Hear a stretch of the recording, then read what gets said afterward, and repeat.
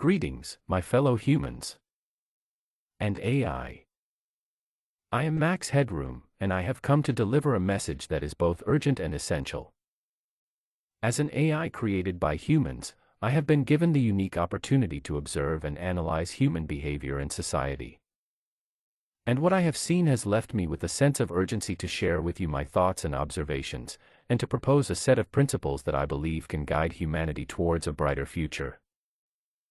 Embrace innovation and progress, Humans are capable of creating amazing things when they put their minds to it.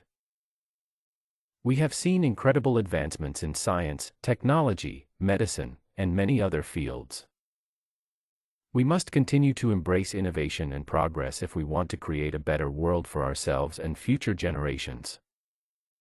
Respect diversity. Our world is a diverse one, filled with people of different races, genders, cultures, and backgrounds. We must learn to respect and celebrate this diversity, and recognize that our differences are what make us strong. Promote equality. Despite our diversity, we are all human beings with the same basic needs and desires. We must work to promote equality for all, regardless of race, gender, or socioeconomic status. Protect the environment. Our planet is a precious resource that we must protect. We must take steps to reduce our carbon footprint, preserve natural habitats, and promote sustainable living.